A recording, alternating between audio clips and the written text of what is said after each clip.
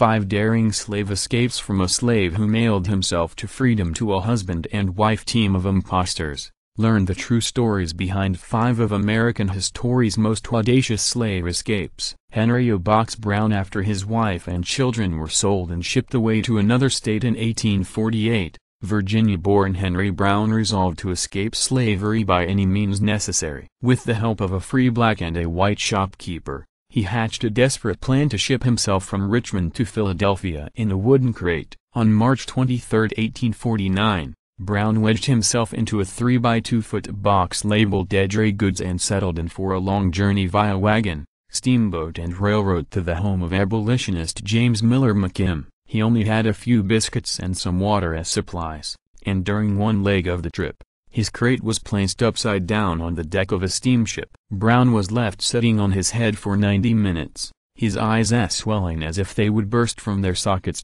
He nearly passed out before two unsuspecting passengers flipped the box over to use it as a seat. Brown arrived safely in Philadelphia after 27 grueling hours inside the cramped confines of the box. His incredible story made him a minor celebrity in New England but he was soon forced to flee the country after the passage of the Fugitive Slave Act of 1850. O. Box Brown later spent several years in Great Britain hosting a stage act that documented his escape. He eventually returned to the United States in 1875 and worked as a magician. As part of each show, he would climb into the same wooden crate that had once carried him to freedom. Frederick Douglass in September 1838, 20-year-old slave Frederick Douglass fled his job as a Baltimore ship's caulker and boarded a train bound for the north. The young bondsman was disguised in a sailor's uniform provided by his future wife, Anna Murray, and carried a free sailor's protection pass loaned to him by an accomplice. He desperately hoped the papers would be enough to lead him to freedom, but there was a major obstacle. He bore hardly any resemblance to the man listed in the documents. When the conductor came to collect tickets and check the black passenger's papers, Douglass was nearly overcome with trepidation.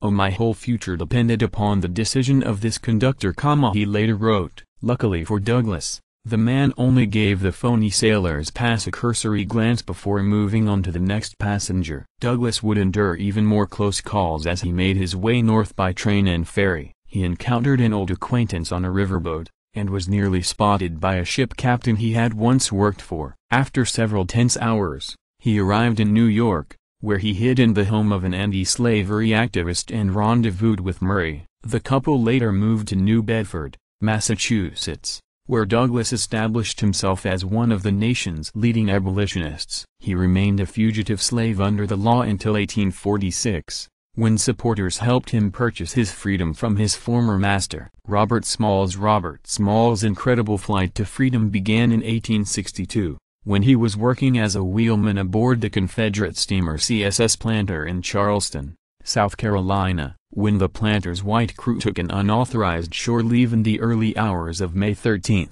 Smalls and several accomplices sprang into action. After commandeering the ship, the slaves picked up their families at a rendezvous point and steamed into Charleston harbor with Smalls at the helm disguised in the captain's coat and hat. Smalls knew both the ship and the mine-infested harbor like the back of his hand, and he was able to give the proper signals to win safe passage by Fort Sumter. Once out of the Confederate guns firing range, he poured on the speed and made a mad dash for the Union blockade. Arriving under the white flag of surrender, the crew of runaways joyously offered up their ship to first U.S. Navy vessel they encountered. Oh good morning, sir exclamation mark Smalls shouted to the astonished captain. Oh have brought you some of the old United States guns, sir exclamation mark Smalls and his fellow escapees were hailed as heroes in the North, and their courage and cunning were held up as evidence that blacks could make good soldiers. Smalls later helped recruit as many as 5,000 blacks for the Union war effort and served as the pilot and then later the captain of the planter after it was refitted as a U.S. Navy vessel. After the war, he returned to South Carolina, bought his former master's house and went on to serve several terms in the U.S. House of Representatives. Harriet Jacobs For Harriet Jacobs, escaping slavery meant hiding for several years in a prison of her own devising. Born a slave in North Carolina, Jacobs spent her teenage years living in fear of a cruel master who refused to let her marry and made repeated and increasingly brutal sexual advances toward her. When the harassment continued even after Jacobs had two children by another man, she resolved to make a break for freedom. In 1835, she fled her plantation and briefly hid in some friends' houses. Knowing her chances of making it to the north were slim, she eventually holed up in a small attic crawlspace in her grandmother's home. The rat-infested room was tiny only 9 feet long and 7 feet wide, with a sloping ceiling that never reached higher than 3 feet and Jacobs later wrote that it offered no admission for either light or air. Nevertheless, she would spend an astonishing seven years living in the coffin-like space watching her children play in the yard through a small peephole and only leaving for brief periods of nighttime exercise. Jacobs finally made her escape to the north in 1842, after a friend helped her secure passage on a boat bound for Philadelphia. From there, she proceeded by train to New York and reunited with family members. She spent the next few years working in New York and Boston, but remained wary of being captured by her former master until friends helped arrange her purchase and manumission. Jacobs later became an influential abolitionist and published a searing account of her ordeal called O Incidents in the Life of a Slave Girl. William and Ellen Craft for sheer creativity and daring.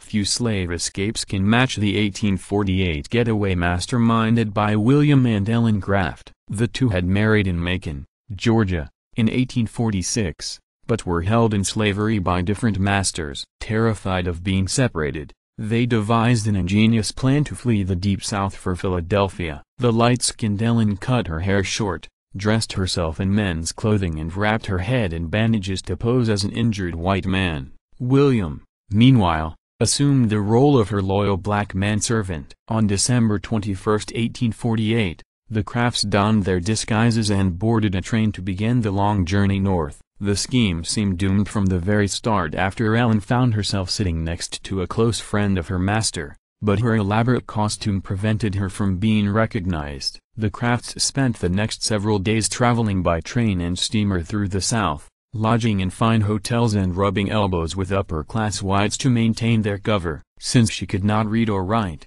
Ellen placed her arm in a sling to avoid signing tickets and papers.